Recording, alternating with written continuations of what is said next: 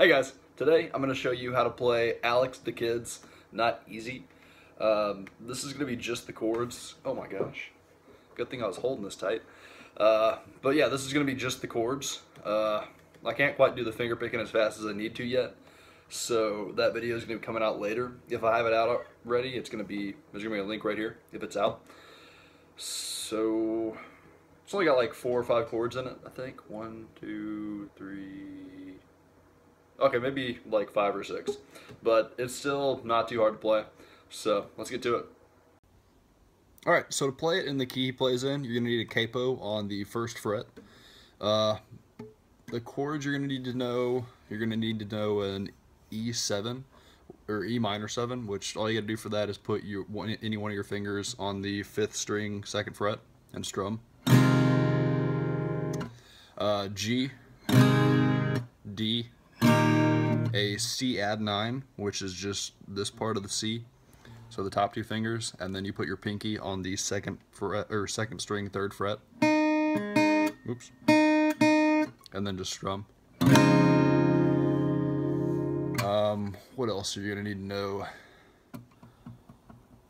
In Wiz Khalifa's part, you need an A minor and a B minor.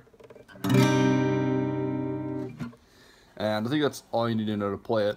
So for the choruses, you go E minor 7, C add 9,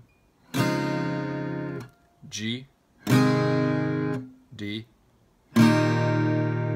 back to E minor 7, back to D, and then G. And you just repeat that every line, or over and over again. Uh, and that's for the, it's not easy. No, it's not easy. Like the chorus parts and the ooh, all the oohs, or ohs, whatever.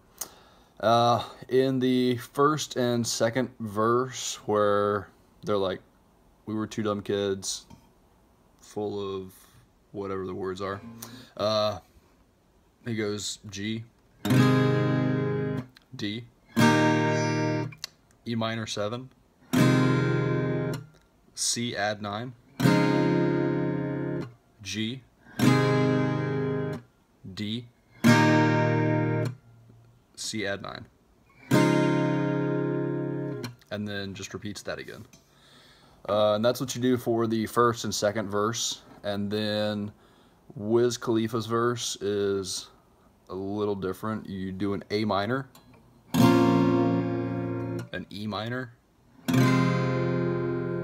and a B minor. Oh, I didn't say E minor. You need to know that too, obviously. Uh, but yeah, you just repeat the A minor, E minor, and B minor. And it's about all you need to know to play it, I think.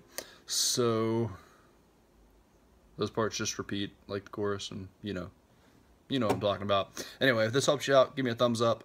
If you have any comments, questions, or suggestions on what song I should do, put it down in ah, put it down in the comments. If you're not following me on social media, check the description and follow me on there. Uh, if you ever have any questions, you can hit me up on there too.